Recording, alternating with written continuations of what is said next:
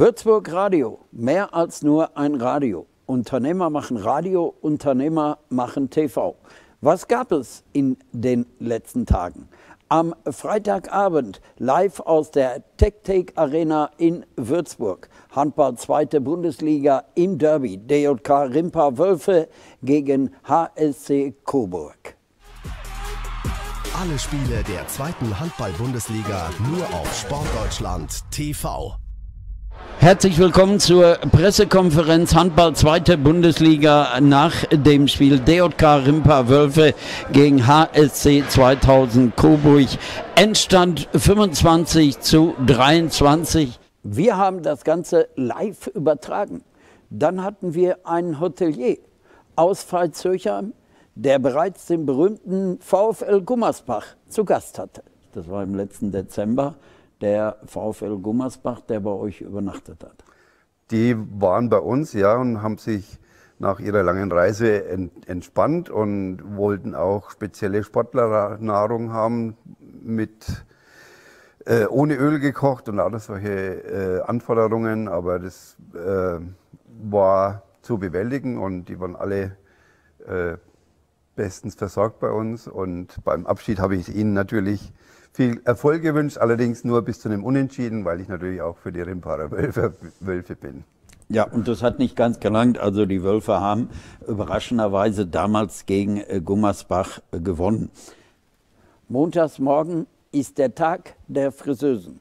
Und wir hatten eine Friseuse hier im Studio, die jede Menge Mut hatte? In, in meinem Fall würde ich hier so sagen, mutig. So ganz alleine äh, war ich nicht. Das stimmt, in Deutschland sagt man das selbstständig und ständig. Aber ich hatte ja das Glück, dass ich von Anfang an eine sehr gute Mitarbeiterin gehabt habe, die auch in Verzöchheim äh, äh, groß geworden ist und aus Verzöchheim kommt. Wir hatten eine Unternehmerin, die sehr großen Wert legt auf die Meinung ihrer Mitarbeiter. Für mich sind es eigentlich ja, nicht nur Mitarbeiter, sondern das sind einfach Menschen, die mich begleiten. Und ich hoffe immer lang in meinem Leben. Ne? Und ich habe auch Mitarbeiter, die sind schon teilweise 20, 25, 30 Jahre dabei. Wir hatten einen Hörgeräteakustiker. Und was wir dort gehört haben, hat mich überrascht. So ist es heutzutage möglich, über ein Hörgerät mit einer App gleichzeitig auch zu telefonieren also rechtzeitig zum Hörgerät. Ich habe die Möglichkeit zum Beispiel auch, das jetzt mit meinem Smartphone zu verbinden. Sozusagen einerseits kann ich dann das Hörgerät über diese App auch noch ein bisschen steuern. Ähm, es gibt auch die Möglichkeit sozusagen, dass ich ein sogenanntes Streaming habe. Das heißt, das Telefonat wird schon direkt in die Hörgeräte übertragen. Ich kann das, wenn ich das mit einer, mit einer Watch sozusagen habe, könnte ich diese App dann auch über diese Watch laufen lassen. Ähm, also da gibt es heute technisch, ist das alles also das ohne heißt, Probleme ich möglich. Nicht mit dem Handy am Ohr genau. rumrennen, genau. ich kann über mein Hörgerät telefonieren. Genau so ist es. Also du hast Lust, bei uns dabei zu sein. Unternehmer machen Radio, Unternehmer machen TV.